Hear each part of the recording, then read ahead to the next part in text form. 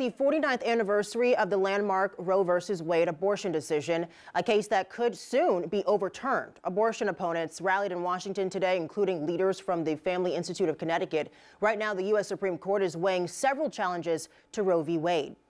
The Supreme Court may soon take a powerful step towards inclusion, justice, and respect for the weakest and most vulnerable the Supreme Court is reviewing a Mississippi law banning abortions after 15 weeks. A Texas law goes even farther, setting that limit at just six weeks.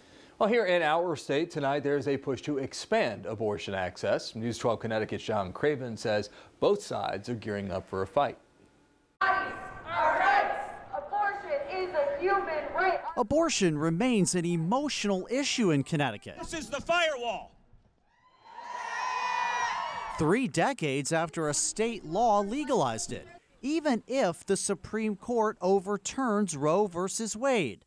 Now, some lawmakers want to go even further. Whether the Supreme Court overturns Roe v. Wade or not, those of us in Connecticut are not waiting to take action. A new reproductive rights caucus wants to expand who can offer abortion care, require all insurance plans to cover it, and make some services available through telehealth. We're not the least bit surprised by that. Peter Wolfgang heads the Family Institute of Connecticut.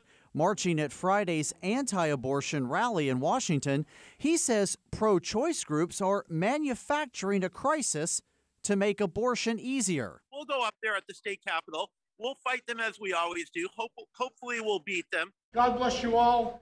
The group fought a bill banning deceptive advertising at so called crisis pregnancy centers. State lawmakers eventually passed the bill last year. The Speaker of the House, Matt Ritter. This year, the state House Speaker says abortion access is a top priority. In Connecticut, we're going to go this way. We're going to get stronger, more protective. We're not going to go backwards. It's a fight that stretches from Washington to Hartford.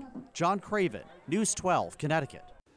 Connecticut became the first state to legalize abortion back in 1990. Ironically, it was also the first state to ban it way back in 1821.